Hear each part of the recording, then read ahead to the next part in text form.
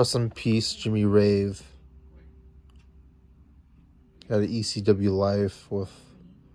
I don't think he ever did anything bad. He was like a, for like a WWE Hulk Hogan audience. Um, I didn't hear about his drug thing. I heard he was molested.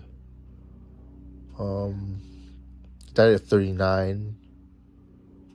He had fused with AJ Styles and CM Punk and ROH in the embassy, big figure in that. ROH is gone now. I forgot that his leg was amputated last year. I don't know what the circumstances were.